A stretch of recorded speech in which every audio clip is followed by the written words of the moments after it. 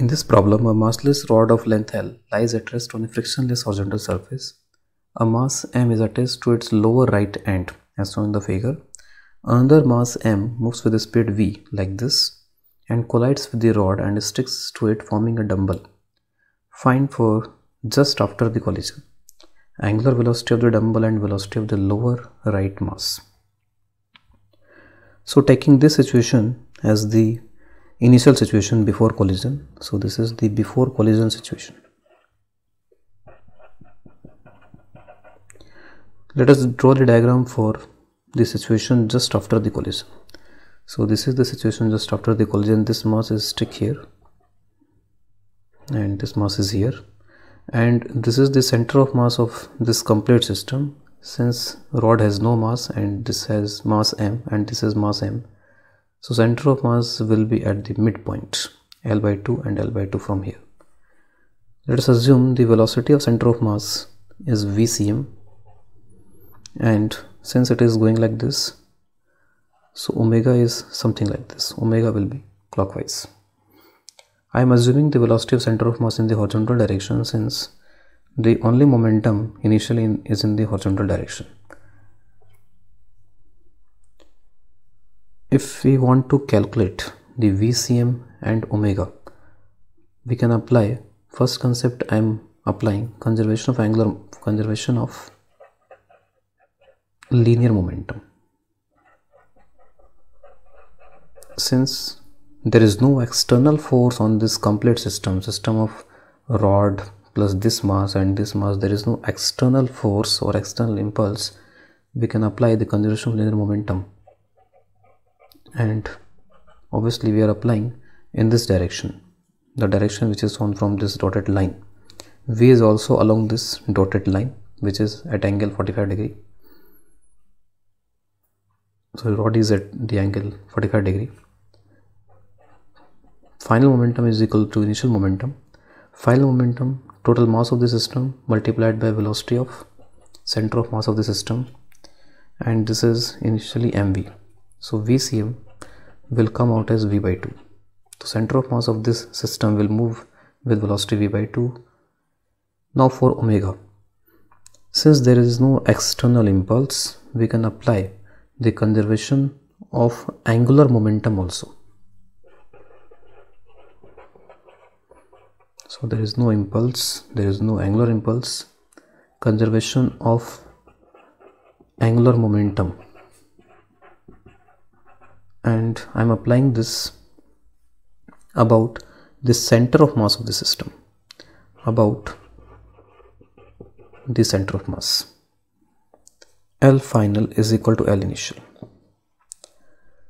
Since the motion of rod just after collision is combined translational and rotation so I have to add the rotational and the translational angular momentum the translational angular momentum about center of mass since velocity is passing through this point will be 0 and the only term will come in the picture will be ICM into omega. So L final is only ICM multiplied by omega and L initial will be due to this particle only and this perpendicular distance from here obviously this angle is also 45 so this is L by 2 and this is L by 2 root 2 so initial mvl by 2 root 2 we have to find ICM moment of inertia of the system about axis passing through this center of mass axis. To ICM these are two point masses so it will be m and distance is l by 2 l by 2 square. Again for this particle also it will be m into L by 2 square multiplied with omega mvl by 2 root 2 it will be ml square by 4 plus ml square by 4 it will be ml square by 2 so finally it is ml square by 2 1 m is cancelled and this 2 will be cancelled and omega will come out as v by root 12 so this is the final angular velocity just after the collision and this is the velocity of center of mass. If we have to find the velocity of this point so velocity of this point will be resultant of velocity due to linear motion of the rod and due to angular motion of the rod. So we have to add the two vectors to find the net velocity of this point. So let us find the net velocity of this lower point this is the rod. This velocity is v by 2 due to linear motion and due to rotational motion of this uh, rod it will be omega into L by 2 and it will be in this direction. So this is omega into L by 2 distance. This distance is L by 2 we have to find the resultant. Omega into L this will be v by root 2 so this omega L by 2 this velocity will be. We have to find the resultant of these two values v by 2 and omega L by 2 will be v by 2 root 2 and uh, this angle here this angle is 45 degree and this omega L by 2 is perpendicular to the rod this angle is also 45 this angle is 180 minus 45 so this angle is 45 taking components of this v by 2 root 2 let us uh, taking take the components of this v by 2 this is the direction of rod. I am taking the component of this v by 2 perpendicular to the rod and along the rod all the angles will be 45 degree. So this will be v by 2 root 2 and this will be v by 2 root 2 you can see these two are cancelled and the only velocity which remains is v by 2 root 2 so net velocity is along the length of the rod v by 2 root 2. We can also do this problem by a different approach. Let us discuss that approach, uh, the method number 2 for this problem. The rod is initially in this situation. When this particle strikes to the rod, it this particle applies some impulse on the rod and this impulse or force can have two components one can be perpendicular to the rod that is f perpendicular and one can be along this rod that is f parallel so this is the force applied by this particle on the rod the rod will also apply the same forces on this particle the f perpendicular and f parallel opposite in the opposite direction this rod will also apply the force on this particle. We have to consider that the rod is massless. If the rod is massless, mass is equal to 0, so net force on the rod, this must be equal to 0. And also the moment of inertia is also 0, so net torque on the rod must be equal to 0. So net force on the rod must be equal to 0. Net torque on the rod must be equal to 0. So if there is force on this rod like this on the other end of this rod this force should be opposite. F perpendicular and f parallel should be like this. Rod will apply these forces on this particle also. So f parallel will be like this and f perpendicular will be like this. So net force on the rod is 0 this and this this and this are cancelled. This f perpendicular and this f perpendicular is cancelled now coming to the net torque. So net torque should also be 0 there is no torque of f parallel on this rod about the center of mass. But this and this will apply a force couple. And these forces will rotate the rod like this. And there cannot be no net torque. So this these forces are producing the net torque on the rod. So for net torque is equal to 0 f perpendicular forces should also be 0 so forces on the rod possible are only f parallel.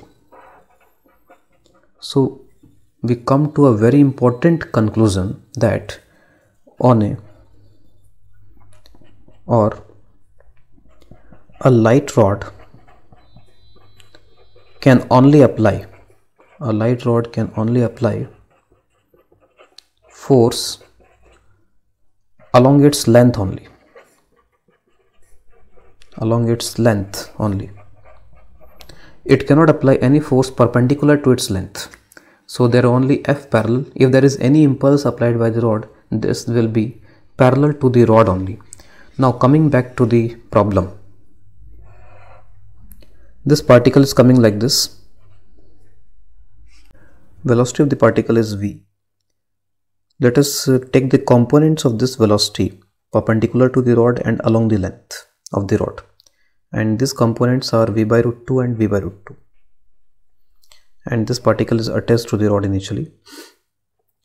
Now since this rod can only exert the force along the rod only so this velocity after the collision will remain unchanged. And since along the length of the rod both the velocities should be equal. So after the collision we can see from here that this particle will have its velocity unchanged perpendicular to the rod. And let us suppose that velocity in this direction is v1 and this particle also has velocity v1 both the particle should have the same velocity along the length of the rod. We can conserve the momentum of this system along the length of the rod. So along the length of the rod we can conserve the momentum p final is equal to p initial along the rod.